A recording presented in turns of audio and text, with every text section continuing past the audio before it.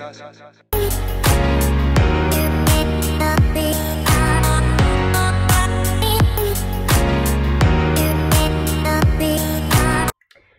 a todos, en este tercer vídeo de Descartes vamos a analizar eh, las características de la primera verdad, cómo a partir de ella obtiene eh, la segunda verdad y cómo la metafísica cartesiana distingue entre dos tipos de, de sustancias junto con la res infinita. Sabemos que Descartes alcanza esa primera verdad del cogito a partir de la duda. Esa primera verdad manifiesta simplemente que sabe que existe.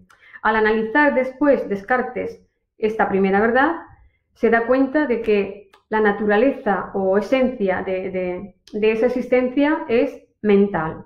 Por lo tanto, deriva precisamente de la primera verdad eh, esta segunda, que significa que su existencia es una existencia mental, a nivel de pensamiento. Y simplemente alega que esto es así porque puede imaginar que no tiene cuerpo incluso puede imaginar que no hay nada a su alrededor, sin embargo, en el momento en el que dejara de pensar en, su mente eh, como existiendo, realmente nada de lo demás tendría sentido, ¿no? Por lo tanto, su naturaleza sería de tipo mental.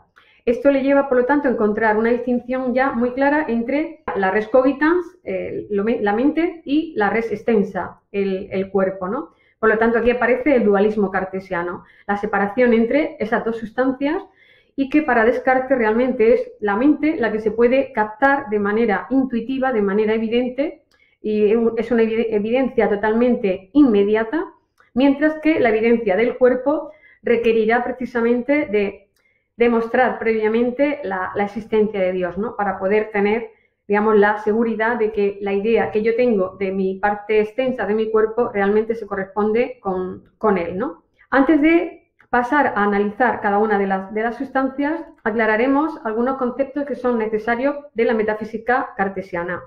La primera sería la eh, noción de sustancia. Sustancia se define como aquello que no necesita de ninguna otra cosa para existir. Por lo tanto, de manera estricta o radical sería Dios. Pero también de una manera más laxa, al final se interpreta como aquello que no necesita ninguna otra cosa para existir, excepto de Dios. Por lo tanto, esto nos llevaría a distinguir entre Dios, la res finita, y la res finita, que sería los cuerpos o la materia, y por la otra a las almas o mentes. Otro concepto sería el de atributo. El atributo sería la cualidad esencial de la sustancia.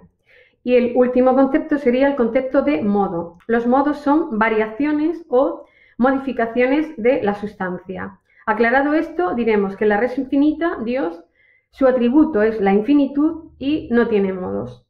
En el caso de la res cogitans, su atributo es el pensamiento y los modos son las ideas. Están supeditadas realmente a, que exista la mente, ¿no? En el caso de la res extensa, que son los cuerpos o materia, su atributo es la extensión. La cualidad esencial es la extensión. ¿Por qué?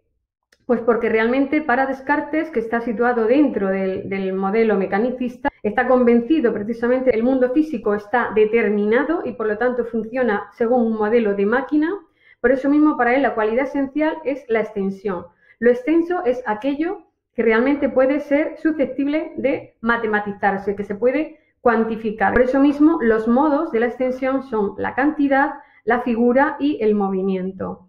Lo que, es, lo que está claro es que esto nos lleva a ver que Descartes defiende un dualismo radical y que además en el ser humano se da la por así decir, la paradoja de que está compuesto, es un ser compuesto dual, compuesto de dos sustancias totalmente separadas, diferentes, como son la mente y el cuerpo. El cuerpo está sometido a todas las leyes de la naturaleza, por lo tanto está determinado, es una máquina. Sin embargo, nuestra alma eh, permanece, por así decir, libre de ese determinismo y por lo tanto esa separación hace que a Descartes le cuesta la tarea de intentar poner en relación, conectar esas dos sustancias totalmente diferentes, el cuerpo del alma. Al final él eh, los conecta a través de la glándula pineal.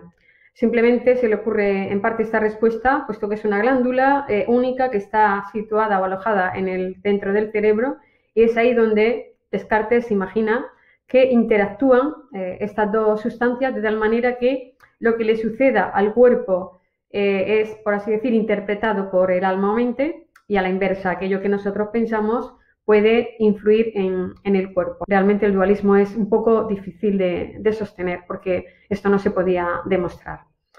Hasta luego.